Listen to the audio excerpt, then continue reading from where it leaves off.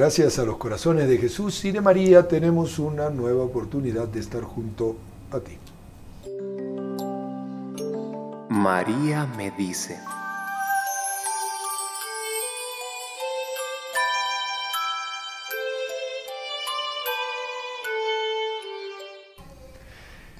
¿Quieres conocer tu dignidad, tu excelencia?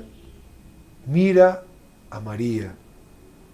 María es esa figura moldeada por Dios como salvación para el hombre de todos los tiempos. María es la imagen perfecta del hombre redimido por Cristo. En ella conozco el cambio obrado en el hombre por Cristo. Un saludo cordial a todos los amigos que nos siguen a través de los distintos medios, aquellos que nos contactan a través de nuestras redes sociales, nuestros dos canales en YouTube, en STV Radio, en STV Perú, también aquellos que lo hacen a través de nuestros Facebook. Tenemos dos Facebook, NS Radio, NSE TV. Nuestro hashtag es NSE junto a ti.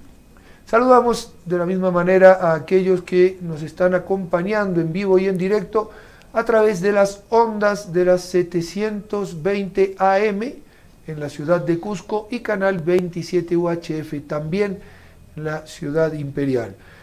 Un saludo para aquellos que nos van a escuchar o nos van a ver a través de eh, los 590 de amplitud modulada en la ciudad de Arequipa, 1180 eh, de amplitud modulada también en la ciudad de Lima y canal 27 UHF en la ciudad blanca. Bienvenidos todos a este espacio del Junto a Ti. Agradecemos la asistencia técnica de María Jesús Guarcaya y en este espacio de trabajo estaremos acompañándoles la hermana Eulalia da Silva y quien les habla, Randy Brunero. Hermana, hoy no trae historia. No. Hoy hablaremos, estaremos serios hoy, hablaremos Vamos a hablar de un tema bastante interesante, la vocación. La vocación, sí, porque nosotros, aunque no lo sepamos, estamos todos llamados, todos tenemos vocación, todos, todos, todos, absolutamente todos. ¿Todos tenemos vocación? Todos, todos. ¿Quiere decir que yo tendría que haber sido cura? No, no necesariamente una vocación es de cura. ¿Ah, una vocación no necesariamente es de cura? No. Es que siempre que hablamos de vocación, este tiene vocación. Y tiene vocación, y siempre decimos tiene vocación de cura, tiene vocación de monja, tiene vocación de monje. No, pues puede tener vocación para el matrimonio, vocación matrimonial, vocación laical. No me diga. Sí. ¿Ustedes sabía eso? Si no lo sabe y quiere enterarse, yo les propongo que se queden con nosotros. Vamos ahora a la vida de aquellos cuya vocación fue vivida plenamente, la primera que todo cristiano tiene, vocación al amor, vocación a la santidad. Vamos a escuchar la vida del santo del día de hoy y enseguida retornamos junto a ti. Estimados amigos, reciban un cordial saludo. Hoy es 18 de junio y la Santa Madre Iglesia nos recuerda a San Marco y Marceliano mártires. San Marcos y Marceliano fueron hermanos gemelos, hijos de San Tranquilino y Santa Marcia, romanos gentiles. A los dos hermanos los cría un ayo cristiano, quien les inculca en la religión sin que sus padres conocieran de ello. Tenían grandes deseos de ser célibes, pero se vieron obligados a casarse con doncellas paganas. La esperanza que tenían era que con el tiempo pudieran convertirlas predicando con su ejemplo. Eran muy prudentes a la hora de profesar su fe, a pesar de que su familia ya se había enterado de ello, esto hizo que pudieran protegerse por un tiempo de los crueles edictos de Diocleciano. Sin embargo, fueron apresados y encerrados en un calabozo. Para ellos esto representó una gran alegría y el desconcierto de su familia. Ya tenían tiempo pensando en que el martirio era el único objeto de toda su ambición, esperando que el Señor les concediera la gracia de derramar su sangre y dar la vida por la gloria del Señor. Fueron condenados a los azotes a pesar de que su familia les aconsejaba que renegaran del cristianismo y que en secreto lo ejercieran no se dejaron amilanar por el castigo. Desesperado, el juez Cromacio, al ver que no podía reducirlos, mandó a degollarlos. Los familiares desesperados rogaron que les dieran un plazo de 30 días, el cual les fue concedido. En ese tiempo fueron trasladados de la celda a su casa, donde sus padres y esposas diariamente les rogaban para que dejaran la fe. Al cabo de este plazo, los familiares se habían convertido al cristianismo. Al presentarse a Cromacio y presentar el padre de nuestros mártires su testimonio, quedó tan impactado que luego de un tiempo se bautizó y dejó su cargo. Lo sucedió Fabiano, un hombre cruel y declarado enemigo de los cristianos, quien retomó la persecución y reabrió las causas que habían quedado pendientes volvieron a ser capturados y sentenciados a muerte apenas se dictara sentencia. Demostró su crueldad Fabiano mandándolos a atar a un tronco y que fueran sus pies traspasados con dos grandes clavos. A pesar de...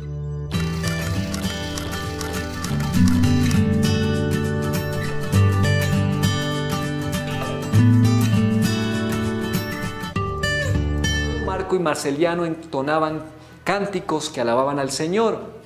Pasaron así un día y una noche. Al día siguiente mandó a que se les quitase la vida, traspasándolos con lanzas. Murieron pronunciando el dulce nombre de Jesús y María el 18 de junio de 286. Fueron enterrados en un lugar llamado de las Arenas, donde se construyó un cementerio. Luego sus reliquias fueron trasladadas a Roma. Bien, queridos amigos, hasta aquí nuestro santo para el día de hoy.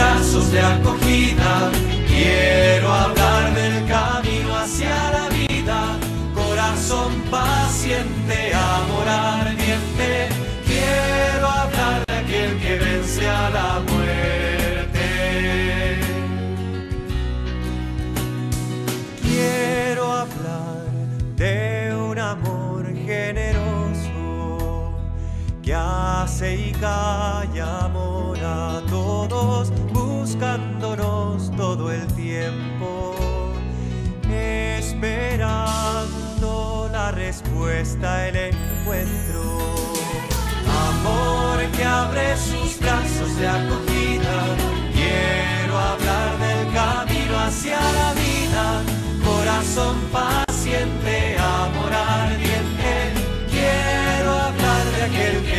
a la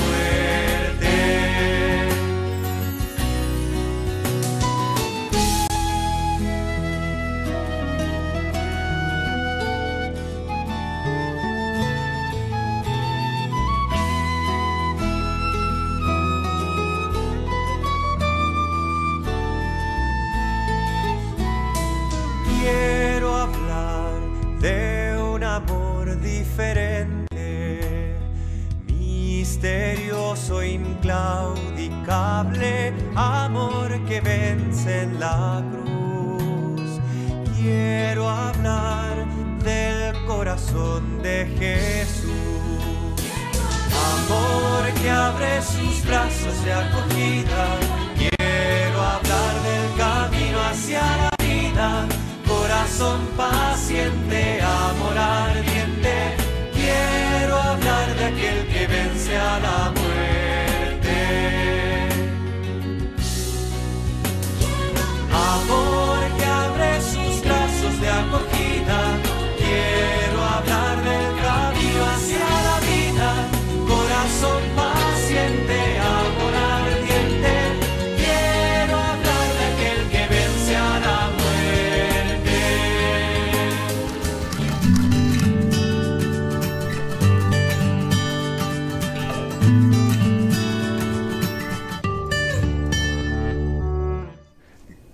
aquí estamos nuevamente. Para aquellos que nos están viendo en vivo y en directo, tenemos un desperfecto con el sonido de la radio, estamos tratando de solucionarlo. Espero yo que dentro de muy breve se solucione. Es un problema aparentemente de la antena, o sea, de la zona de transmisión. Estamos luchando para tratar de solucionarlo. Eh, bueno, e- esta es nuestra vocación. Esta es nuestra vocación. Eh, Sí. Y, y uno, eh, o sea, hay, hay un punto clave. La palabra vocación viene o tiene un origen latino, eh, vocare, es decir, llamado, vocatio, Sí. que también es, un, eh, es un derivado de llamar, que en realidad eh, quiere decir hay alguien que llama. O sea, y yo tengo que escuchar Esa llamada. esa llamada, esa voz que me dice Sí. esto, lo otro, aquello. Y esto nos pone en una tesitura, es decir, la vocación entonces no es solamente lo que hacemos, por ejemplo, cuando hacemos un test vocacional. Usted tiene vocación para médico, usted tiene vocación para eh, mecánico, usted tiene vocación de cura, usted tiene vocación de ingeniero. Eh, ¿Qué es la vocación? ¿O cómo podemos ir eh, hilando para entender lo que es la vocación? Pues ciertamente, como bien usted dijo, hay, un, es un punto clave. Hay una llamada, es decir, que hay, es una relación personal. O sea, hay alguien que llama y alguien que es llamado. O sea, es una, una actitud, eh, digamos, activa y una pasiva. Yo llamo, o sea, Dios nos llama, por decir, Dios me llama a una vocación, a una misión específica. Cada uno cuando nace, pues tiene una misión única e irrepetible en el mundo. Y eso es la vocación que Dios nos da a cada uno. Dios llama y yo eh, soy llamado, por lo cual yo tengo que prestar atención a esa llamada, escuchar qué es lo que Dios quiere para mí y seguir esa llamada. Porque todos tenemos un camino. Eh, Pues si a mí no me gusta, Pues es que no es cuestión de gusto. es que usted ha sido creado para una misión específica y usted se realizará y será feliz. ah, pero a mí nadie me consultó sobre eso. Vamos a ver, ¿somos Ya. libres o no somos libres? Somos Seámoslo libres. siempre. Somos siempre libres. Porque en la, en la medida en que usted obedece a esa llamada, se- va, est- va usted a realizarse totalmente como persona, plenamente. Y ahí va a entrar su felicidad. Este es un punto clave, ¿eh? Y por eso yo estoy haciendo aquí de abogado del diablo, porque es algo que seguramente tu hijo, eh, tu hija, eh, algún joven con el que tienes trato, te habrá dicho alguna vez, no, no, yo soy libre, a mí nadie me puede obligar, yo eh, voy a responder con aquello que me gusta, y a veces pensamos en eso, es decir, evidentemente, normalmente las tendencias vocacionales tienen bastante afinidad con los gustos, Gustos. o preferencias Así de las es. personas, porque Dios no nos ha hecho autómatas y Exacto. evidentemente si nos pone un gusto o, o nos pide algo, nos dará también las herramientas y las armas. Exactamente. Pero eh, eso también tiene, o sea, tiene un valor secundario a la hora de la elección. Porque me viene a la mente, por ejemplo, las- el, la- el momento de elección que propone San Ignacio de Loyola en los ejercicios Sí. espirituales, cuando dice, Señor, yo quiero aquello, o sea, yo eh, te pido aquello que no quiero. O sea, un Sí. poco como decir, lo que menos me gusta, Sí, eso es lo que te pido para que me llames a eso que es lo que menos me gusta. Sí. De tal manera de que quede manifiesto plenamente que mi entrega vocacional es absoluta. Exacto, pero eso viene precisamente porque Dios no es cruel. A ver, Dios no va a pedirle algo a uno, lo ha hecho hacia, hacia, con una tendencia hacia el arte y le va a pedir que haga otra cosa. No, Dios no es cruel. Lo que pasa es que nosotros para poder decir que somos indiferentes al llamado de Dios, a aceptar lo que Él quiera para mí porque es el mejor plan, debo estar con esa actitud indiferente, no me debo inclinar hacia lo que yo quiero y me emperro en lo que yo quiero y perdonen la palabra, la expresión, me... me Sí, sí, o sea, ¿qué es eso? O sea, es que es uno se... tosudez. Exacto, no, abro el abanico de amplitudes que Dios me pone delante, pero yo acojo su llamada y Él es el que dirige el camino, yo solo lo sigo. ¿Mm? Entonces es por eso que muchas veces uno ve, hay profesionales, yo hablo del caso de del sacerdocio porque muchas veces no pensamos eh, que Dios, o la vida religiosa, ¿no? Porque no pensamos primero en qué quiere Dios para mí, sino que yo escojo una profesión y luego que ya soy profesional, ¿cuántos médicos se han vuelto luego sacerdotes o abogados? San Alfonso María de Ligorio era abogado y por perder un pleito, que fue para él, vamos, lo más vergonzoso, se hizo, se dio cuenta de que ese no era su camino. Y entonces preguntó a Dios realmente, Señor, ¿qué quieres de mí? Y fue el fundador de los redentoristas. Imaginémonos eh, casos por el estilo. Algunos dirán, no, no, es que esta se hizo monja porque la abandonó su novio, entonces mm. quedó con el corazón deshecho y se hizo monja. Eh, y como es tan fea y el único que la podía querer era este y este se fue, pues entonces se ha hecho monja. y, nos olvidamos de la realidad de la vocación. Cuidado, que Dios utilice alguna circunstancia adversa para desengañarnos del mundo y de sus fauces y de sus tentáculos y, que nos tienen apresados y atrapados y iba a decir hasta asfixiados. Sí eh, sí, Dios puede usar esa técnica y la ha usado muchas veces. Pero también hay otra cosa cierta, y a mí me gusta mucho esa expresión eh, de San Rafael Arnaiz. Eh, yo no vengo al convento desengañado del mundo, porque a mí el mundo no me engaña. Así es. Es decir, él conocía perfectamente lo que el mundo era y toma su decisión de hacerse monje trapense, silencio absoluto durante todo el día, salvo algunas convivencias y algunos momentos explícitos para hablar o rezar eh, en voz alta. Sí. Pero, y él lo dice, claro, yo no vengo aquí desengañado del mundo. Es decir, muchas veces vemos la vocación como una frustración. Bueno, este es un frustrado, entonces que se haga cura, viejo, porque no sirve para otra cosa. Ah. Es, una, es una visión que nos ha metido eh, principalmente la iluminación, la ilustración eh, del siglo XIX, eh, que ha tomado un cuerpo muy fuerte del siglo pasado, siglo XX, y un poco decir, y fíjense que las revoluciones siempre decían, esto pasó en todas las revoluciones comunistas, los curas no sirven para nada, son unos inútiles, son unos vagos holgazanes, entonces hay que acabar con, ellos, con los curas, con las monjas, porque no sirven para nada. Y no nos damos cuenta de que es también un llamado, es un llamado, es decir, nadie puede abrogarse algo por sí mismo. Claro, así es. Y justamente tenemos que tener en cuenta que como mm, Dios creador es el que, digamos, gobierna el mundo en el sentido de, que Él dispone en su providencia todo lo que es el camino de cada uno, es que está la vocación, cada uno en su vocación, su llamado, su misión en el mundo, están los maestros, están los gobernantes, los artistas, todo eso es un llamado de Dios.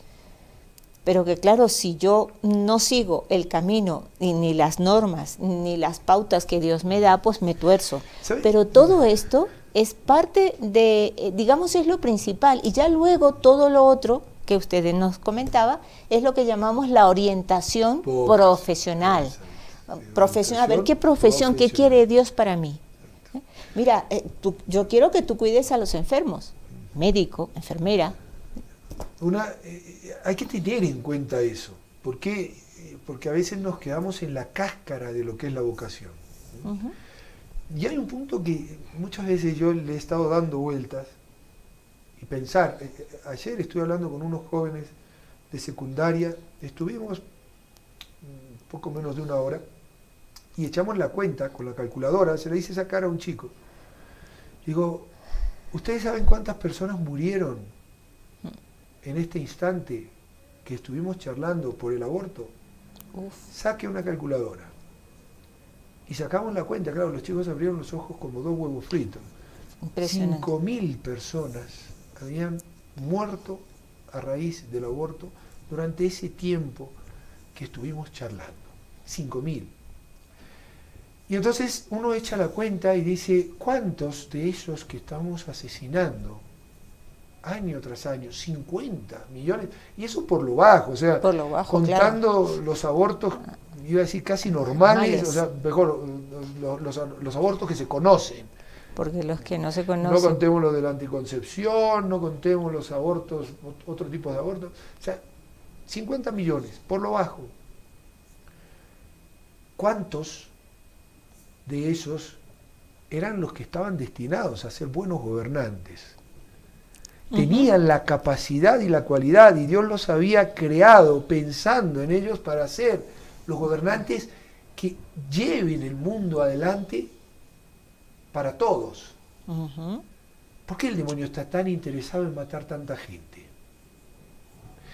¿Por qué el demonio mete estas cosas? Anticoncepción, aborto, eutanasia, etcétera, etcétera. Porque justamente eh, él se da cuenta de que Dios tiene un plan y tiene que estorbar ese plan como sea. Sí. Eh, pónganse a pensar, ¿por qué tanto co- político corrupto eh, en el mundo?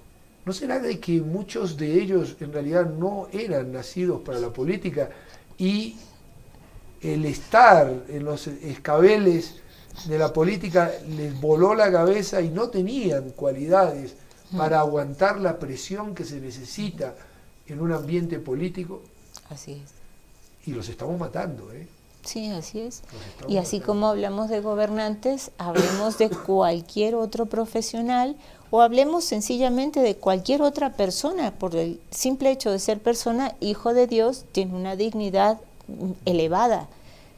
Con ser solamente una persona que haga el bien, porque para eso nos ha creado Dios, ¿no? Vamos camino al cielo, es- todos deberíamos ir camino al cielo, y Dios quiere que en ese camino, aunque yo no tenga una profesión religiosa, en el sentido profesión de profesar votos, Sí, profesar ¿ya? votos, un cura, una monja, Eso. un religioso, una religiosa.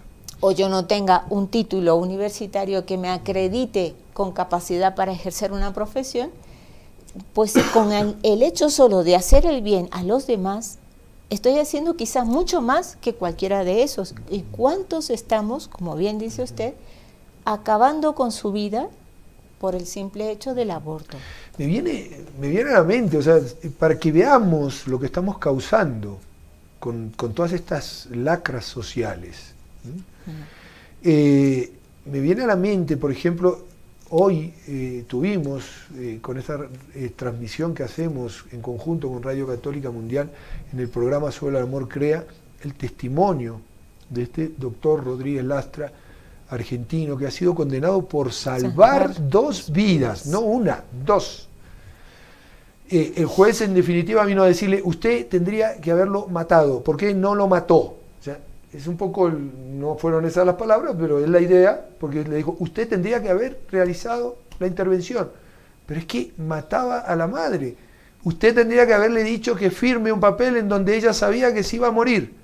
¿Pero O sea, por qué? ¿Qué vida es la que me interesa defender? Ninguna. Pero ¿por qué llegamos a esos extremos? ¿Por qué de esta manera?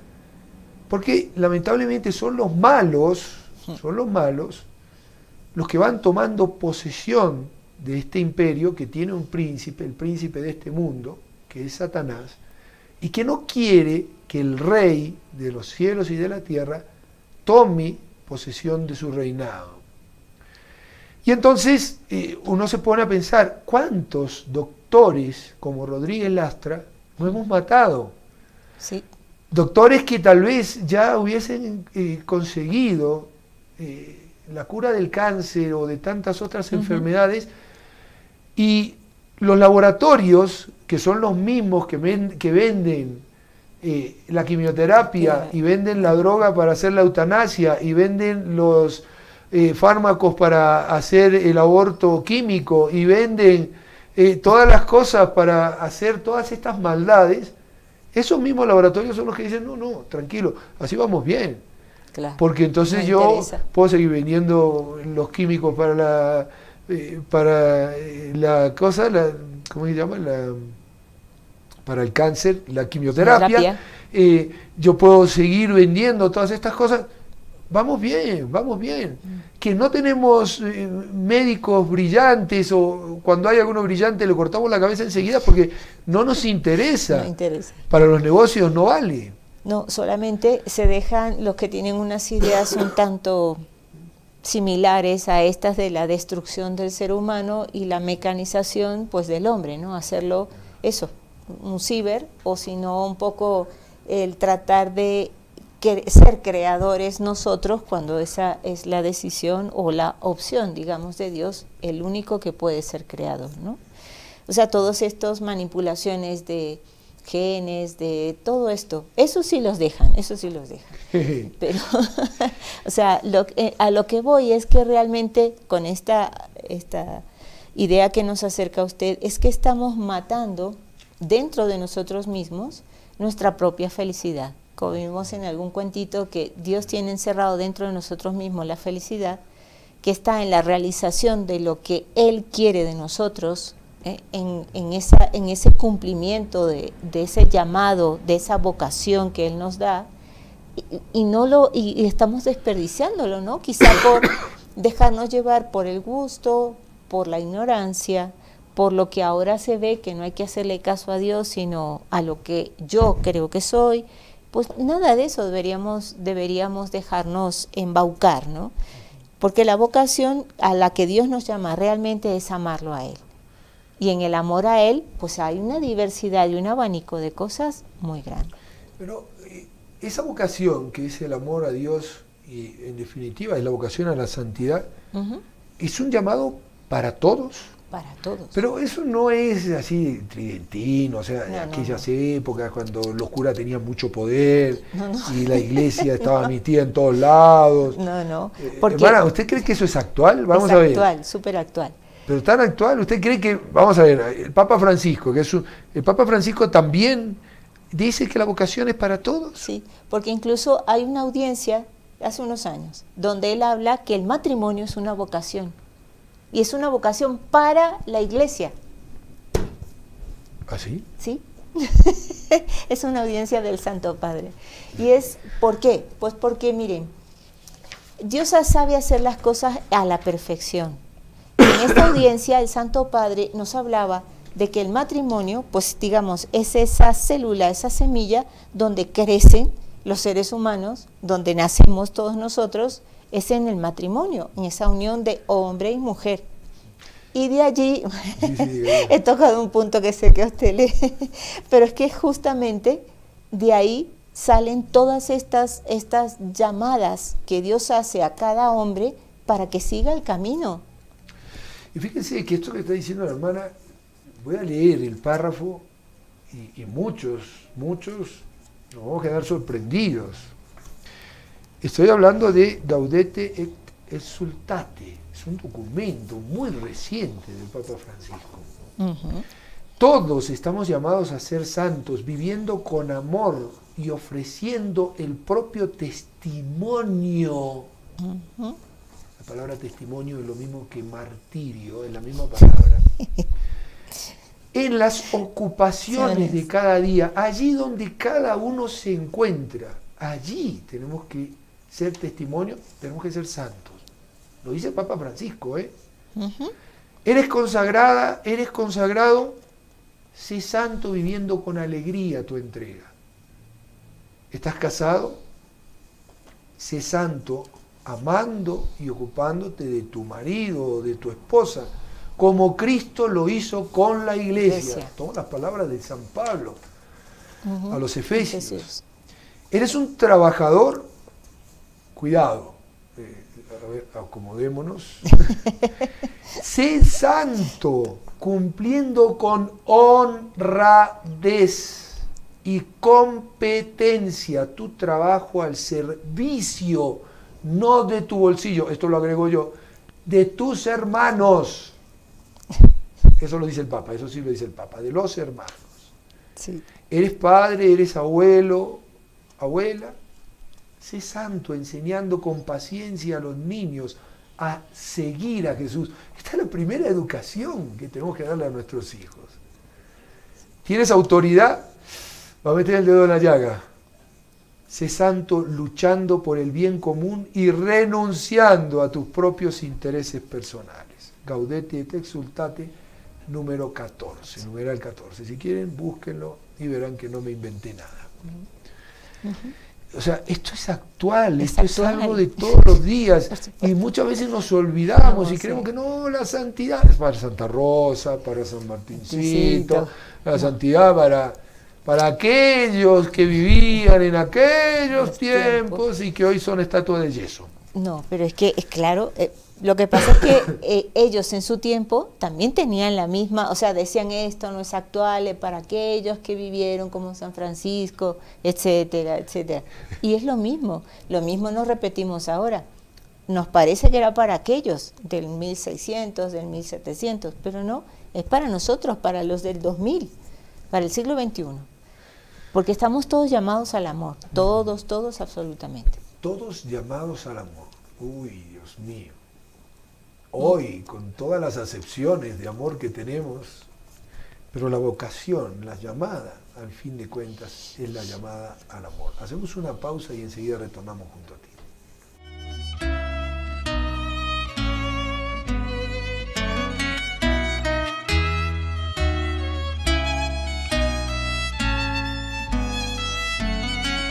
Amarte a ti, Señor, en todas las cosas y a todas en ti, en todo amar y servir, en todo amar y servir.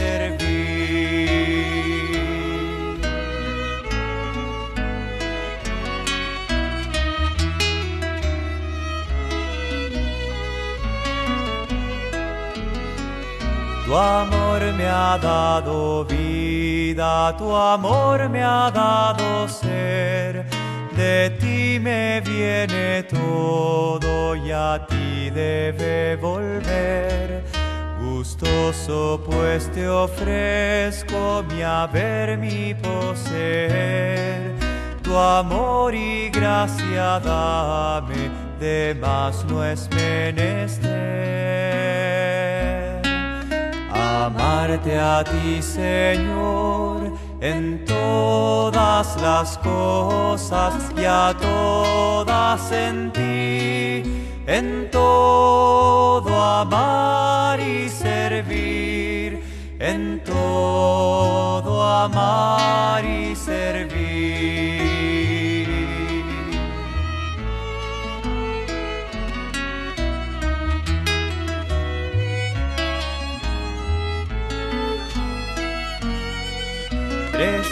En las criaturas y activo en todo estás.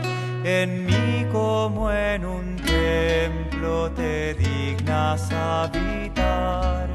De ti bondad y gracia me llueven sin cesar. Mi oficio ya no es otro sino servir y amar. Amarte a ti, Señor, en todas las cosas y a todas en ti, en todo amar y servir, en todo amar y servir.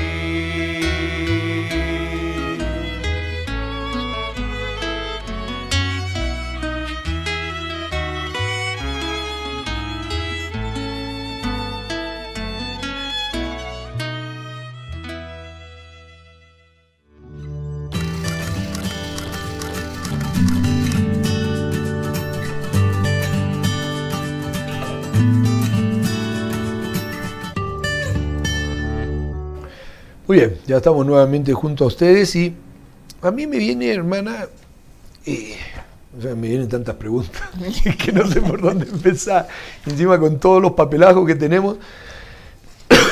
Pero usted dijo, hay una vocación al laicado, hay una vocación al matrimonio, Sí. hay una vocación que me imagino que la podríamos poner dentro de las vocaciones religiosas. Ajá. Sea, pero ese conjunto de vocaciones son todas vocaciones dentro de la fe, o sea, dentro de la misma iglesia están todas esas vocaciones, o no, la iglesia es solo la vocación de los curas, que aquellos que son curas, que después van a ser obispos, cardenales, esos son iglesias. No, todos somos iglesia. El mismo hecho de solo ser, o sea, de estar bautizados ya somos iglesia.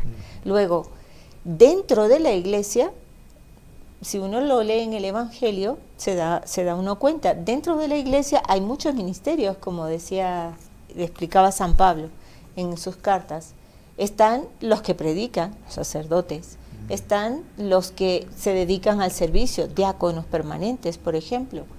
Eh, luego están todos los que se dedican a una función dentro de la iglesia, como los ministros de acogida, los que ayudan en las parroquias a mantener pues todos los locales y toda la liturgia en, digamos en su decoro como debe ser.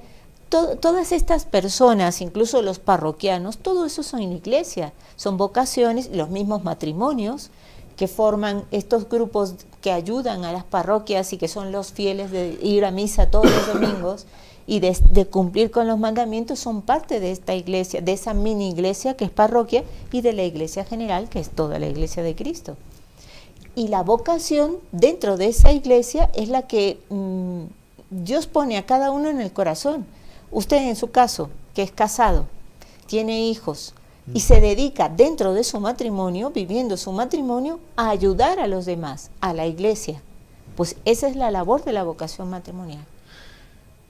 Y fíjense que todas estas ideas, iba a decir, han desaparecido. Ustedes me perdonan, yo estoy chupando un caramelito porque quiero dejar de toser. Me han escuchado un concierto de toses en el bloque anterior, espero que en este no haya tantos, por lo menos. Pero eh, es algo importante comprender que Dios tiene un plan para cada uno de nosotros. Un plan.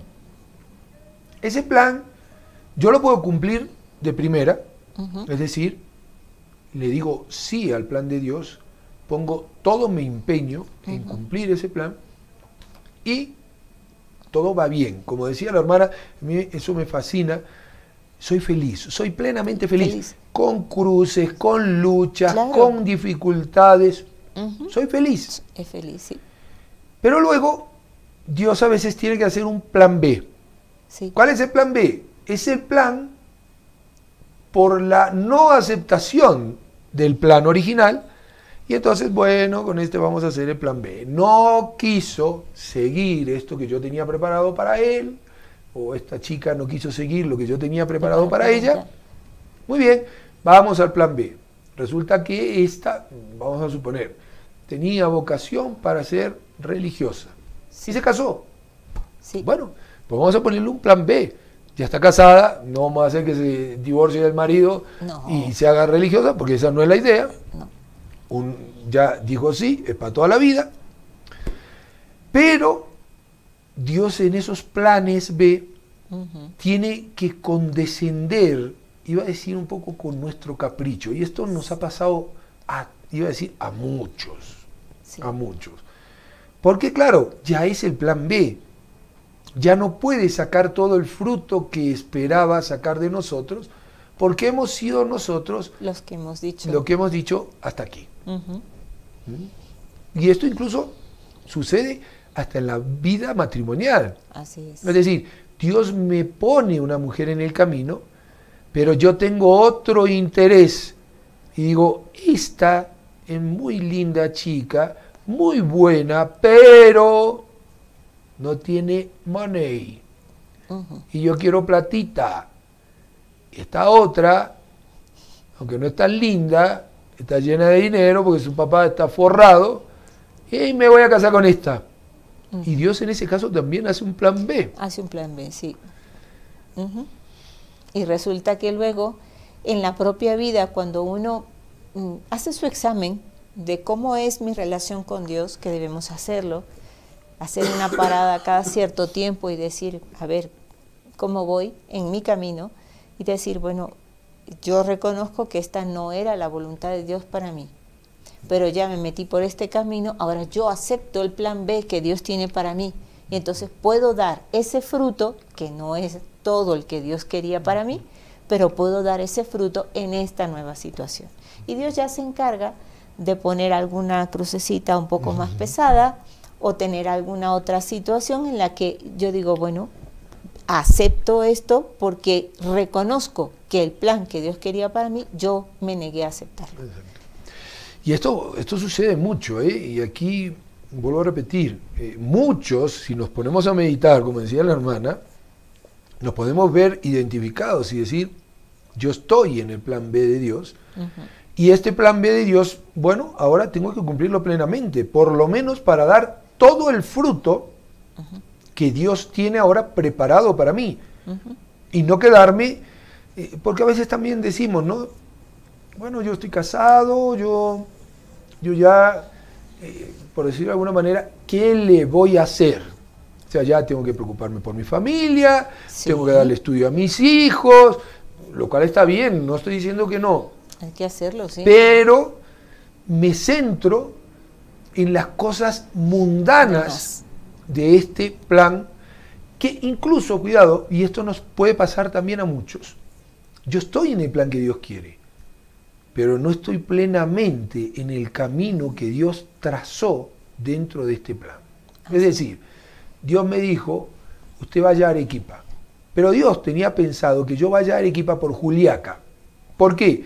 Porque en el camino me iba a encontrar con una persona que necesitaba que la lleve desde Sicuani hasta Yaviri. Resulta que en Ayaviri, cuando iba a parar con esa persona, se iba a acercar otro y me iba a decir, oiga, ¿usted me puede llevar por favor hasta Juliaca? Sí, cómo no. Eh, cuando llegaba a Juliaca y paraba ahí, eh, me iba a encontrar a uno que diga, oiga, ¿sabe qué? Mire, este pobre hombre recién acaba de salir del hospital, eh, ¿usted lo podrá llevar? no sé, hasta otro pueblo que está un poco más allá o hasta mismo Arequipa. Sí, sí, con mucho gusto. Pero resulta que yo digo, no, no, el camino de Juliaca ya tiene muchos pozos. Voy a ir mejor por el lado de Espinar, que está mejor, es una ruta nueva, que la han asfaltado ahora, y voy a agarrar por ahí.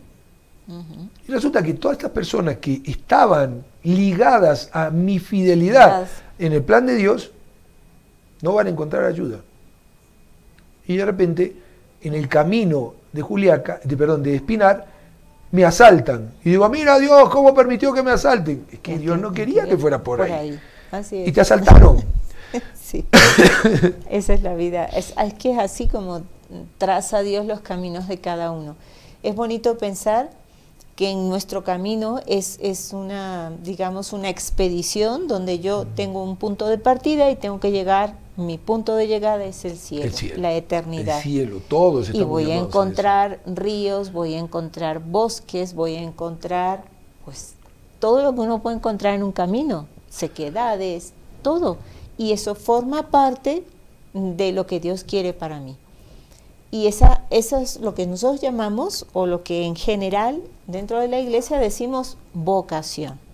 Es el seguimiento a esa llamada que Dios nos da a amarle en este camino de, que estamos de paso para luego amarle eternamente en el cielo. Esto suena muy bonito, muy romántico, muy fácil, pero es el trayecto de toda la vida. Y además que hay que tener en cuenta una cosa que es fundamental. Somos cristianos. Cristiano quiere decir seguidor de Cristo y nuestro jefe, nuestra cabeza, murió en la cruz. Si quieres que tu camino no pase por el peaje de la cruz, estás equivocado. y, esto hay que tenerlo en cuenta, es otra de las cosas. Hoy no, no, no, que no sufra no. el menor sufrimiento, como padecimiento, no, eso Dios no lo quiere, Dios ya sufrió por ti. Ya.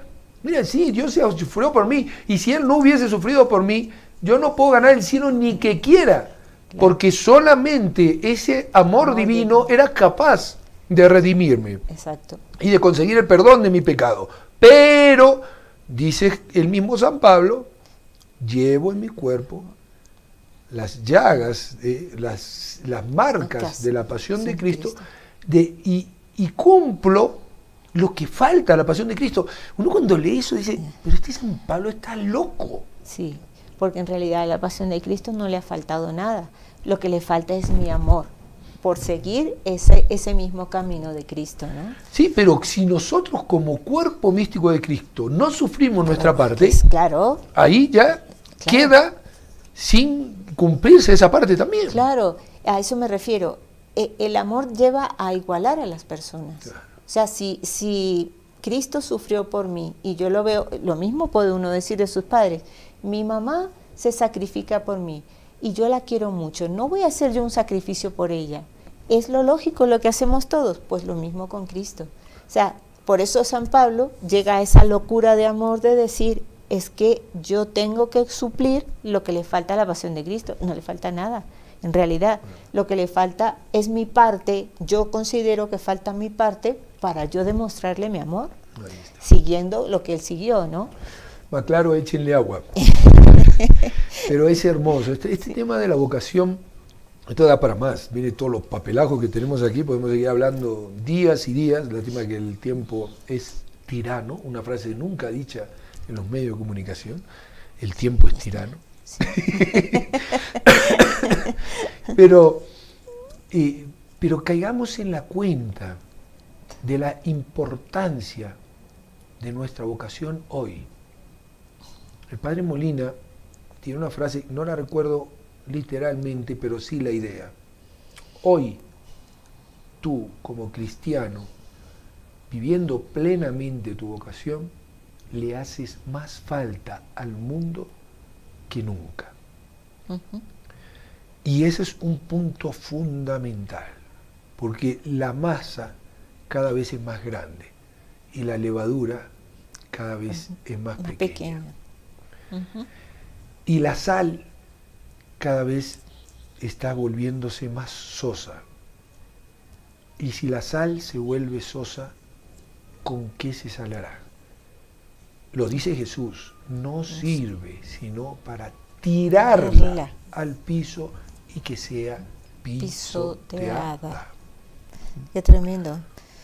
Lo que nos trae cuenta es que sigamos esa vocación, esa llamada de Dios. A cada uno, ya digo, es un camino sé santo, viviendo con alegría tu entrega. ¿Estás casado?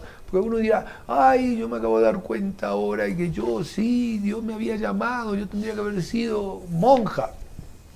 ¿Estás casada? Sí, ahí está tu monasterio.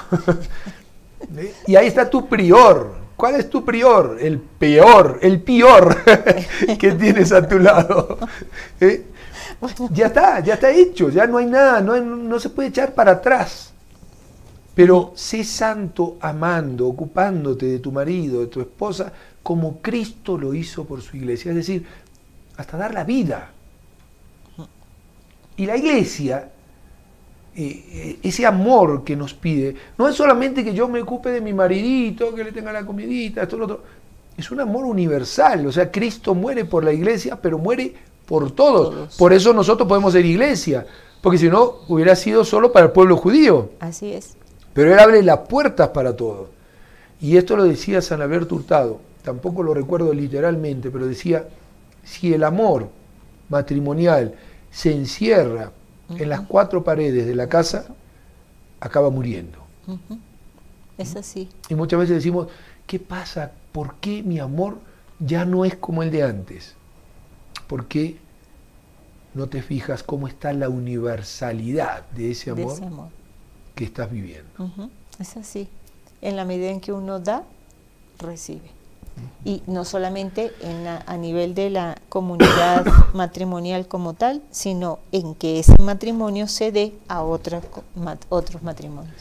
Y algunos dicen, no, pero yo cómo hago, o sea, apenas me alcanza para poder pagar la cuenta del teléfono, la cuenta del internet, el cable, la, la- la cuota del televisor, la cuota, tantas cosas que nos ponemos hoy. Y uno se pone a pensar y, y, y esos hermanos que están sin comida, eh, piensan tal vez en el internet o piensan en ver cómo se van a llenar el estómago, no mañana, hoy, hoy. Bueno, meditemos nuestra vocación, ¿eh? porque la vocación es, como ven ustedes, mucho más de lo que a veces pensamos. ¿ah? Ay, voy a tener orientación vocacional. Ay, qué lindo. A ver si, si vas a ser médico, vas a ser enfermera. Ya tienes un panorama distinto de lo que es la vocación. Vamos a pedirle a aquella que cumplió su vocación al máximo, aquella que de verdad, de verdad le dijo sí a Dios. Porque nosotros decimos sí, pero como los franceses, ¿no? Que je dis oui, oui, je dis ne. Yo digo no. Yo digo sí, sí. ¿Entendió? Sí, sí. No. Eso es no. ¿Ya? Pues eso es lo que hacemos nosotros. Eh, ¿Quieres venir por aquí, hijo mío? Nos dice el Señor. Sí, sí. Eh, ve tú primero. y ya te alcanzo. Y agarramos para el otro lado ¿eh? como locos. Pues vamos a pedirle. Vamos a pedirle por todas las intenciones que tienen ustedes en su corazón. Por.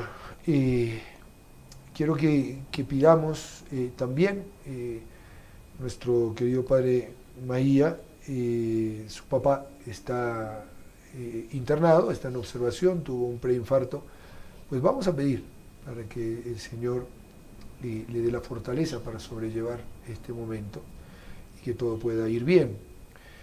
Y también eh, mm, les vuelvo a pedir, recemos por eh, una de mis hijas que está en Colombia, está ahora ya trabajando nuevamente, ya, ya no sé, ha salido, ha salido ya de la observación, pero eh, van a tener que seguramente intervenirla o hacer algo para, este, para poder solucionar el, problema que tiene. Pues eh, pidámosle también a la Santísima Virgen de que se haga su voluntad, porque en definitiva estamos todos hechos para el cielo, no estamos hechos para aquí. Y, Dios ya tiene puesto para cada uno el momento indicado. Así es.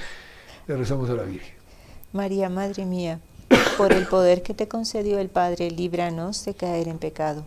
Dios te salve María, llena eres de gracia, el Señor es contigo, bendita tú eres entre todas las mujeres, y bendito es el fruto de tu vientre, Jesús. Santa María, Madre de Dios, ruega por nosotros pecadores, ahora y en la hora de nuestra muerte. Amén.